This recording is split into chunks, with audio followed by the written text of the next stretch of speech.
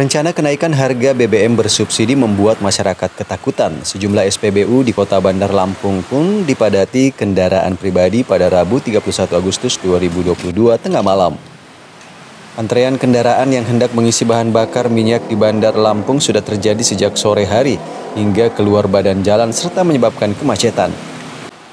Antrean kendaraan yang hampir merata di seluruh SPBU di Bandar Lampung terjadi karena wacana kenaikan harga bahan bakar minyak bersubsidi yang rencananya akan mulai diterapkan pada 1 September oleh pemerintah. Indri salah seorang warga mengaku sudah mengantri selama 15 menit untuk mendapatkan BBM jenis Pertalite. Dijelaskannya bahwa antrian kali ini menjadi salah satu yang terpanjang. Pertalite ini. Pertalite. Baru sekali ini. Baru ini. Udah berapa lama? Baru dua hari ini lah. Mulai dua hari ini.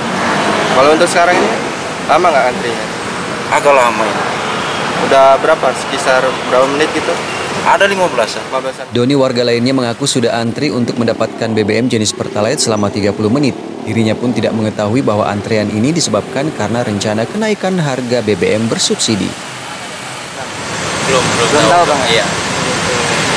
Ini kita udah berapa lama bang antri di sini bang? Udah sekitar ya setengah jaman lah. Setengah jam lah ya? Iya. Sementara Edi selaku pengawas SPBU mengaku sampai saat ini pihaknya belum mendapatkan informasi mengenai adanya kenaikan harga BBM bersubsidi. Udah dua, udah empat itu panjang terus semua. Udah tiga hari kan. Tiga hari ya? Sampai saat ini sih kami belum dapat. Belum dapat ya? Iya, nggak tahu kalau nanti bentar lagi atau Edi menjelaskan antrian padat sudah mulai terjadi sejak dua hari lalu. Rata-rata konsumen hendak membeli BBM jenis Pertalite dan solar.